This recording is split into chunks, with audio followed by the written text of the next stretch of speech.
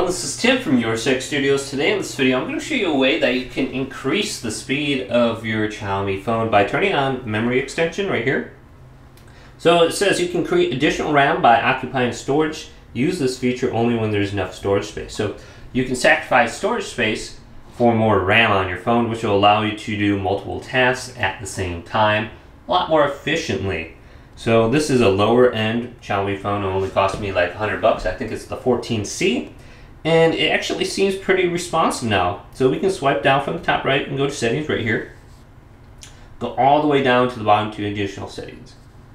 And then we are looking for an option called memory extension. Just turn this on and go down to the maximum that you have available. So I have 4 gigabytes, which makes my phone 8 gigabytes total.